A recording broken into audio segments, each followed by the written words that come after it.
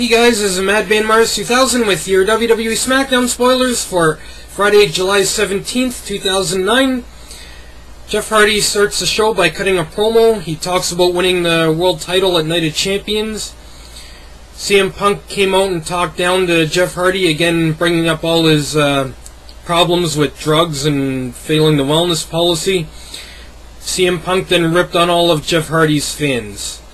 John Morrison defeated CM Punk in a non-title match. Morrison wins clean.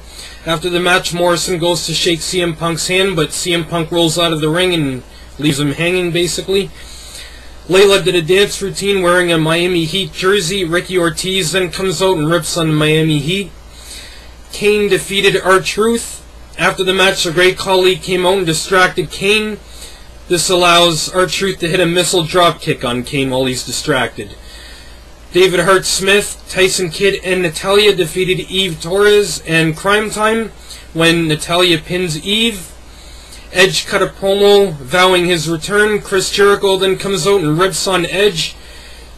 He calls Edge a pathetic loser and said he should have known better than to pick him as his tag partner.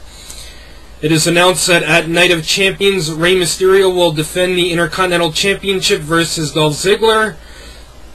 Intercontinental Champion Rey Mysterio and Jeff Hardy defeated Chris Jericho and Dolph Ziggler via DQ. CM Punk was at ringside for the match. Hardy attempted to throw Jericho into Punk, who was doing commentary.